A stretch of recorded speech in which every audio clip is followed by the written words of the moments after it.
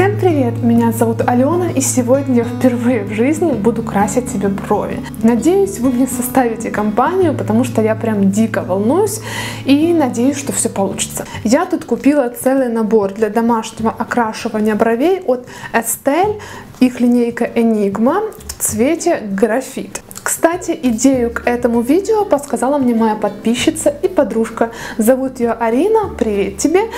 Кстати, у меня здесь на холодильнике висит ее открыточка. Спасибо тебе еще раз огромное. Надеюсь, это тот продукт, который она мне рекомендовала. В комплекте у нас идет сама крем-краска, проявляющая эмульсия, две палочки для нанесения и размешивания, вот такой вот пластиковый колпачок, где мы будем это все замешивать, и патчи так как краска идет и для ресниц тоже.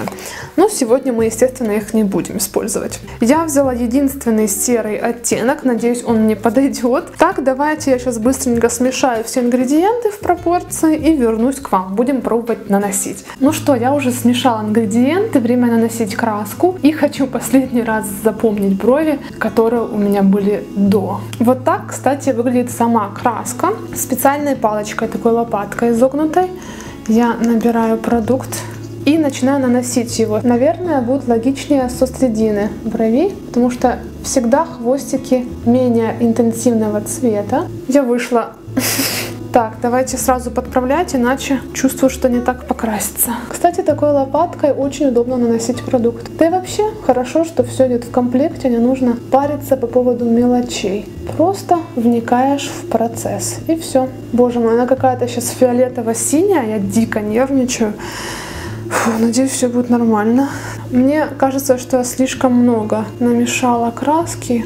Здесь, кстати, странно указаны пропорции и очень легко ошибиться. Надеюсь, я этого не сделала. Странно, что вот щеточки для бровей не идет в комплекте. Сейчас мои брови ярко-фиолетового оттенка, и мне остается выдержать 10 минут, чтобы это все не смыть и не послать к черту. Ну что, 15 минут уже прошло и время посмотреть на первые результаты. В частности, сейчас снимем краску с левой брови. Боже, мне так страшно. Пока все фиолетовое. О, боже мой. Может, это не лучшая затея была, а? Слушайте, а неплохо получилось. Конечно, здесь прям не прорисованная идеально бровь, но в целом очень даже натурально. Больше всего впечатлило то, что хвостик отлично, просто однородно прокрасился. И теперь мне не нужно будет заморачиваться с тенями слишком много. Возможно, я уже буду обходиться только гелем для бровей. Вот здесь у основания еще видно много проплешин, хвостик. Вот именно хвостик брови мне прям очень нравится.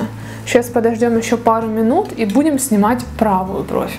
Так, главное, чтобы ни одного цвета у меня получились. Насколько я помню, это профессиональная оттеночная краска, которая окрашивает только саму волосинку, а не кожу вокруг нее. Поэтому вообще должно все быть мега натурально. И кажется, я угадала с цветом. Единственное, для ресниц такой интенсивности определенно будет мало. Знаете, когда я смотрю в зеркало, я вижу результат. Брови хоть и натуральные, но цвет стал намного глубже и насыщеннее. И, кстати, более однородным. Потому потому что хвостики бровей у меня всегда были очень светлые, как будто даже выгоревшие, а сейчас как будто все в балансе.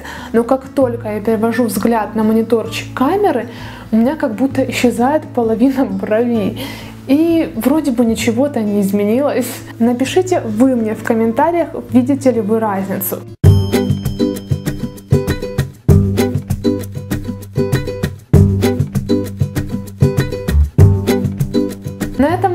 Надеюсь, это видео было вам полезным или интересным. Если это так, не забывайте дать мне знать своим пальчиком вверх, внизу. Мне будет очень-очень приятно.